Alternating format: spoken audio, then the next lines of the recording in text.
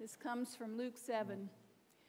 One of the Pharisees asked Jesus to eat with him, and he went into the Pharisee's house and took his place at the table.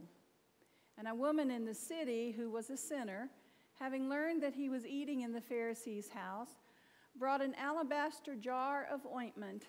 She stood behind him at his feet, weeping, and began to bathe his feet with her tears and to dry them with her hair. Then she continued kissing his feet and anointing them with the ointment.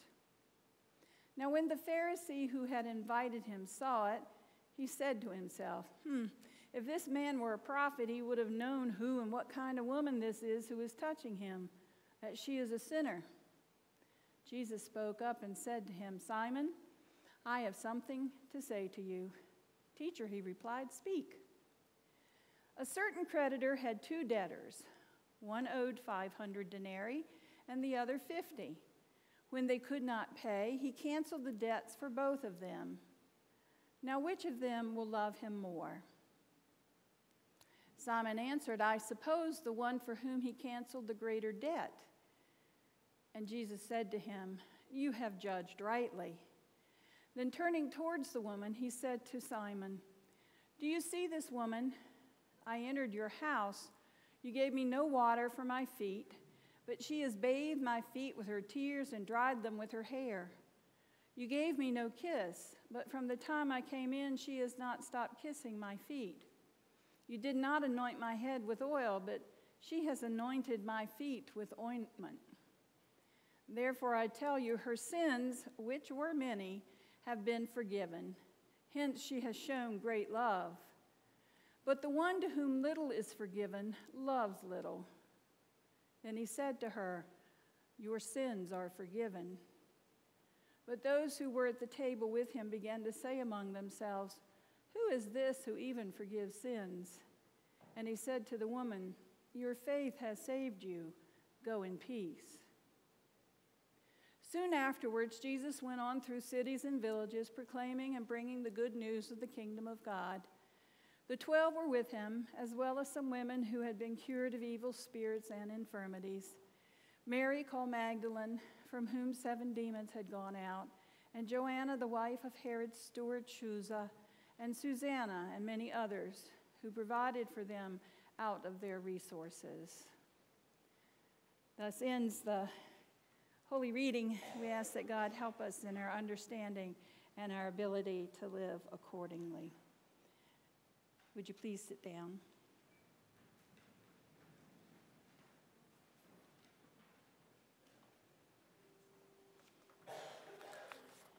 I started out in one direction with the sermon, and then did a U turn, and then straightened back up again.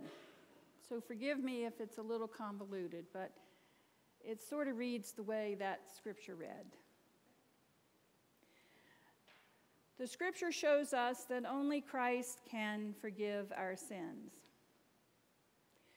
Most of you have heard of the story of the woman who washed Jesus' feet with her tears and dried them with her hair.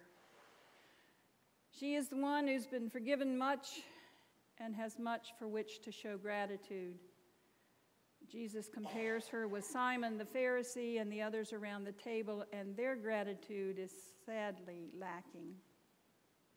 In the midst of the dinner shared, custom, judging spirits, misinformation, and self righteousness are interwoven with a story of forgiveness, new possibilities, and extravagant expression of gratitude.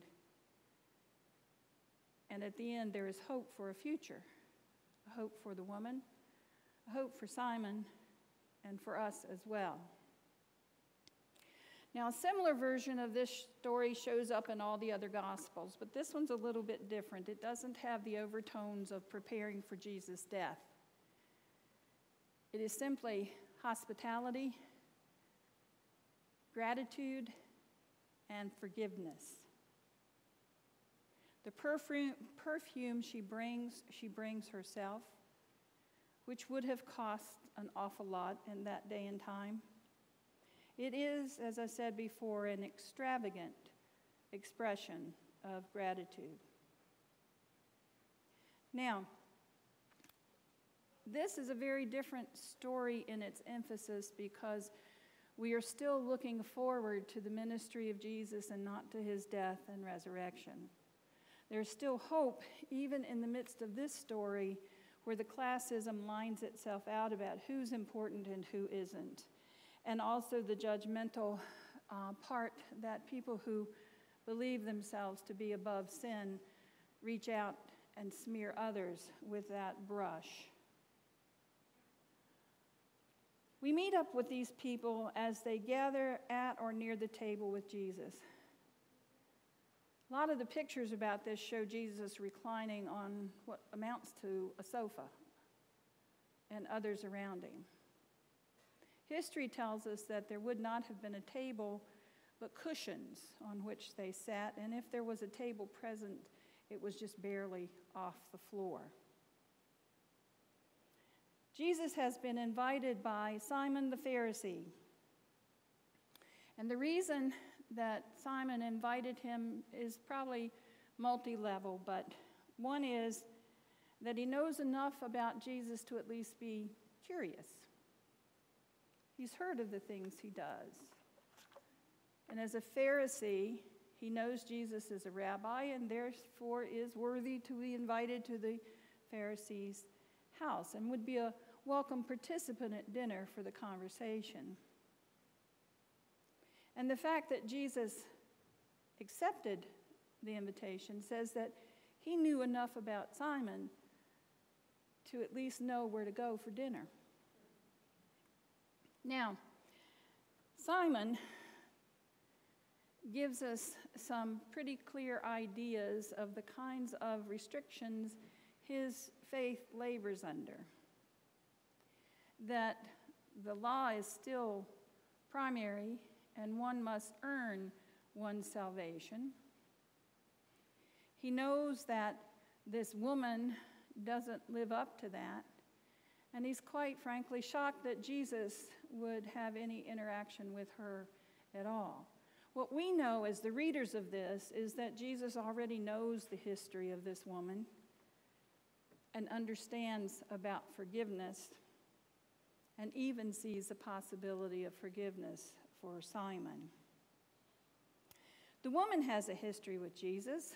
Otherwise, why would she come and spend all her money and her tears coming into a place where, as a woman, she was not invited and not welcome, and ministering to a holy man, a teacher, a rabbi?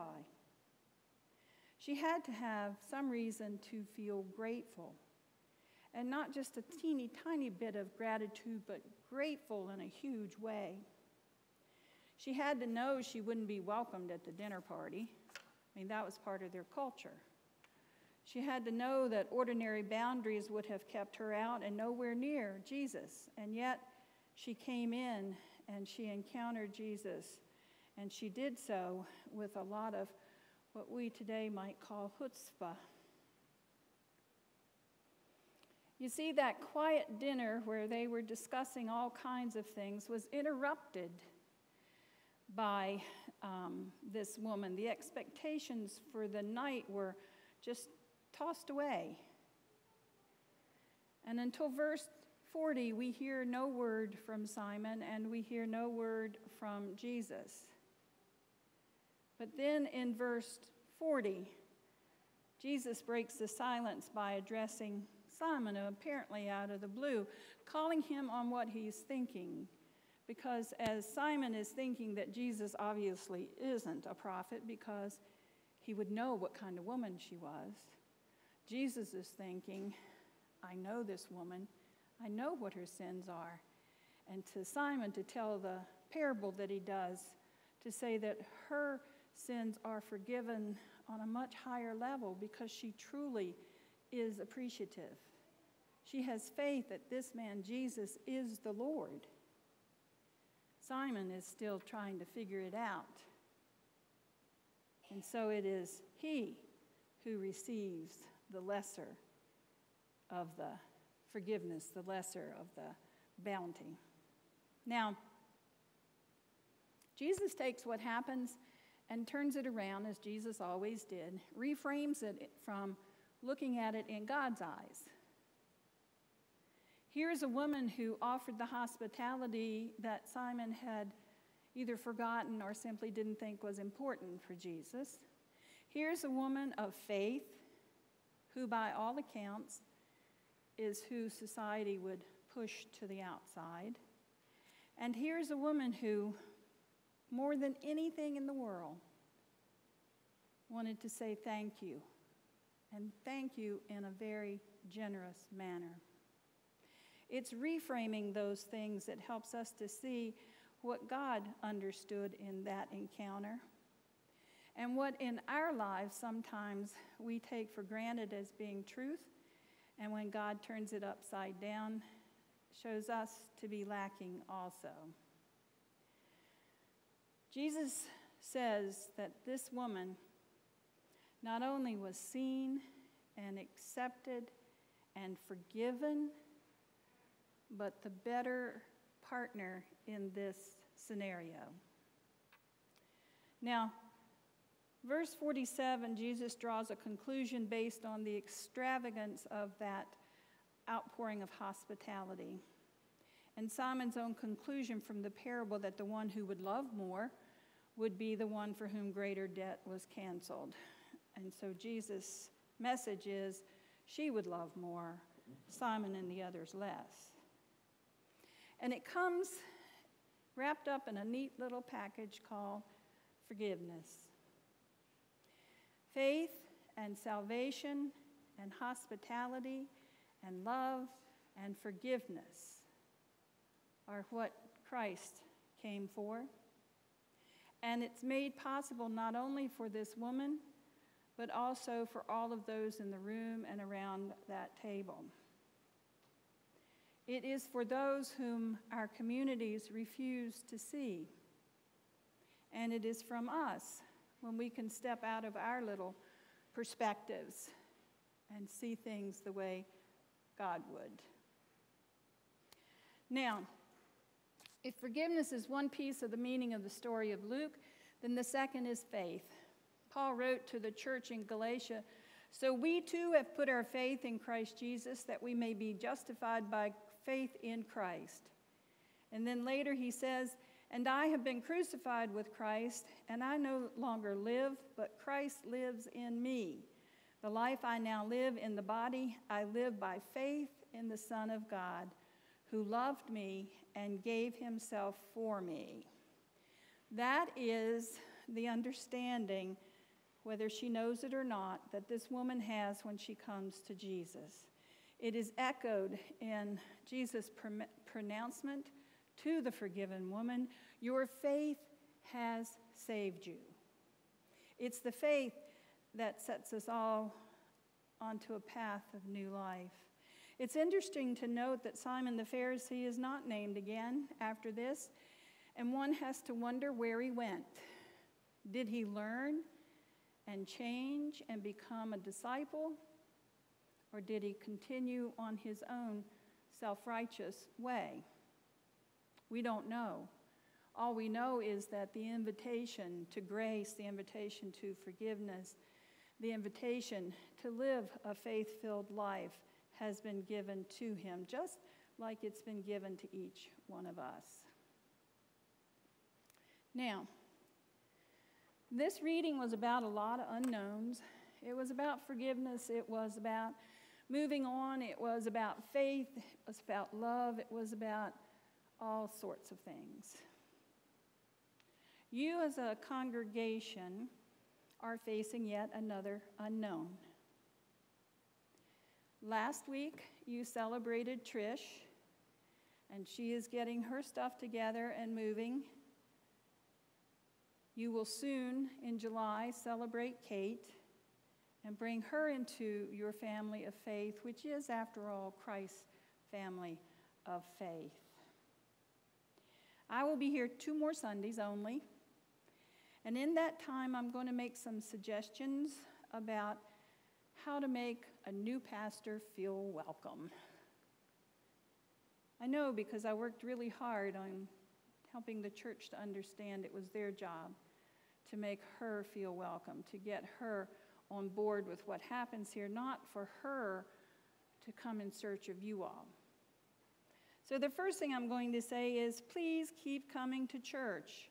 If you're on vacation, fine, but when vacation's over, come back to church. She needs to know that she's going to have more than a handful of people for the summer and into the fall. You also need to do some personal things for her. I like that the office was painted. I like that bright yellow wall, especially. It should be in order, and there should be flowers on her desk for the first time she comes. With notes, if you want to leave notes. The children can make notes for her. I had enough notes when I left to paper a bathroom, a large one. But I went through everyone, read through everyone, and cherished every one. She will too because it is her first introduction to your children, and especially since Sunday school is finished for the summer. The same with the youth. And youth, be as present as you have been in the congregation.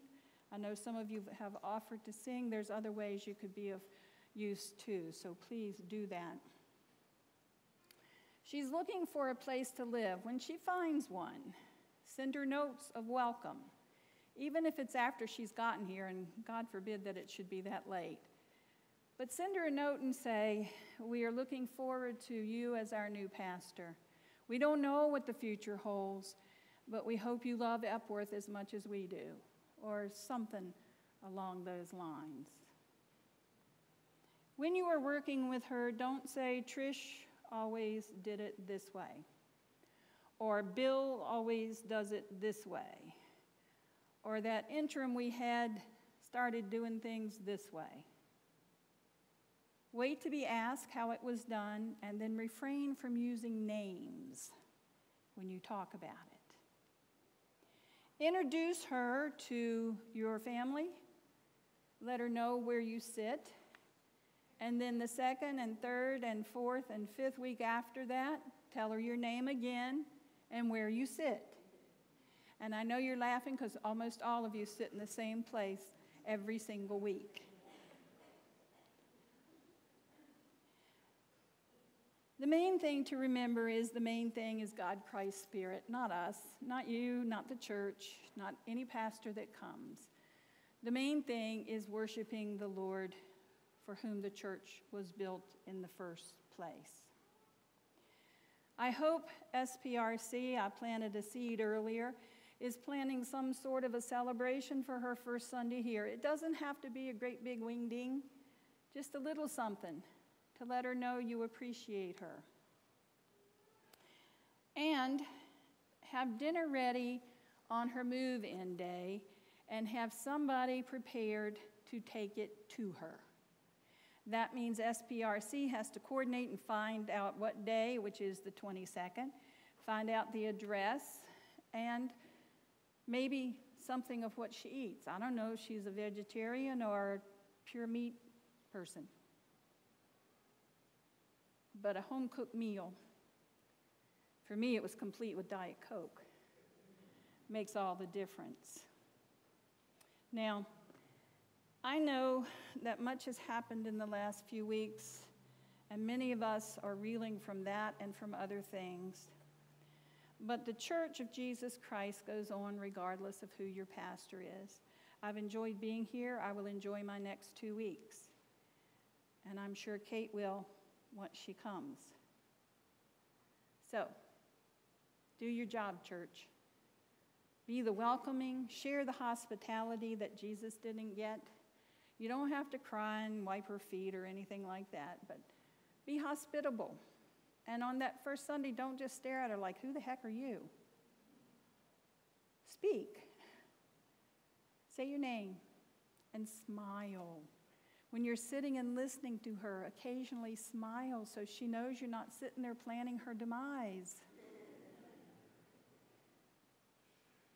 You've changed pastors off enough to know this. It's a hard row, but it is what it is, and I trust you all to do as Jesus said. Be thankful, show your gratitude, be faithful in all things, and praise God. Amen.